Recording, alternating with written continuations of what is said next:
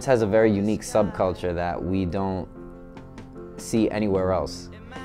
For example, when I went off to college, I remember thinking how expensive all the food was. When I went off to college, I remember thinking how it's hard to find a place to get a good haircut. Um, I remember thinking, I remember missing the music and the sounds and the smells of, of the community, the community that I grew up in. And you know, these are some things that you don't appreciate until you leave Lawrence.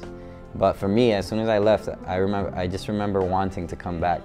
And so when I finally did come back and I was able to find a job working for the city, I was very satisfied. No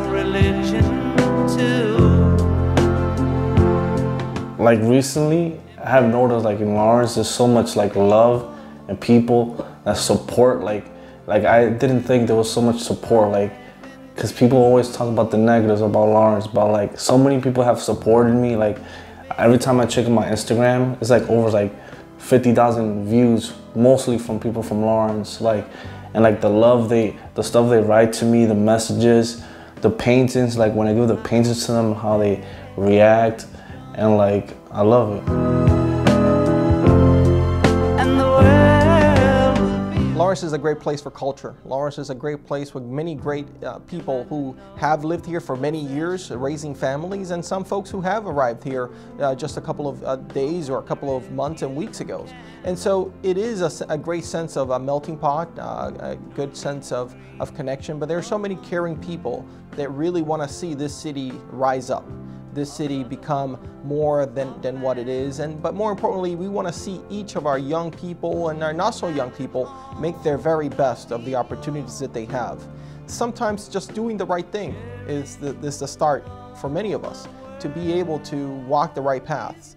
Um, yes, peer pressure is, is among us, and sometimes we have to understand what the right thing is, and we have to follow that path because the, a life of crime, of alcohol and drugs doesn't lead us to anything good right away.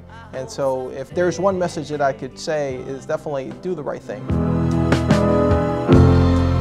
And the world The community, the people, the culture, the diversity. Um, I can't really pinpoint one thing that I love above anything else because I feel like everything goes hand in hand. I feel like um, whether you're an elder um, or you're um, a baby just starting out with your first words, your your community is really what's going to help raise you, you know. Um, and I feel like you see that every day, whether you're going to the common, whether you're walking through the streets, you're seeing somebody trying to interact with another person. Now, don't get me wrong, there's negative um, things um, in every city, but if you stay focused on that, you're not going to see the beauty that is within the city. Welcome to my house, baby, take control now. We can't My city, my city, one city, one city, my city, one city. Rise up, rise up, rise up, rise up.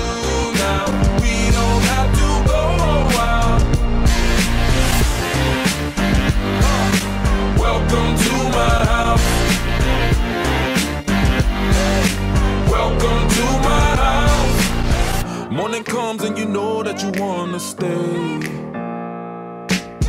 Close the blinds, let's pretend that the time has changed.